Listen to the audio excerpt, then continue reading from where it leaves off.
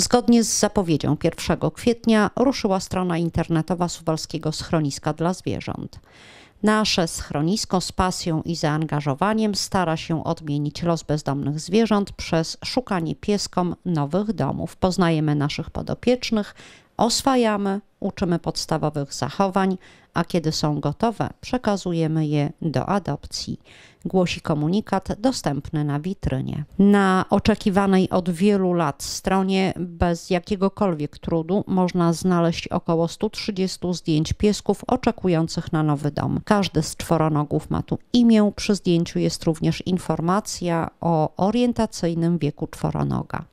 W opublikowanym regulaminie znajdują się jasne zasady adopcji zwierząt. By móc przygarnąć psa, trzeba mieć ukończone 18 lat. Młodsi miłośnicy zwierząt powinni pojawiać się tu z dorosłymi opiekunami. Z grupy potencjalnych nowych opiekunów wyklucza się osoby będące pod wpływem alkoholu oraz osoby, które nie mają warunków do przyjęcia psa i podejrzani o spekulację lub handel zwierzętami.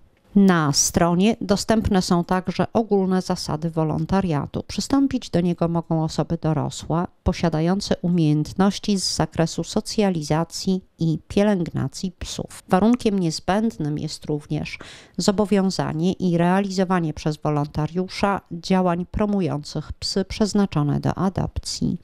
Wolontariusze mogą wspierać schronisko od poniedziałku do piątku w godzinach od 10 do 16.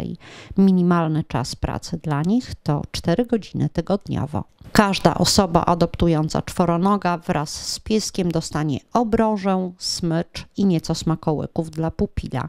Wydawane do domów zwierzęta są oczywiście zaczipowane i wysterylizowane.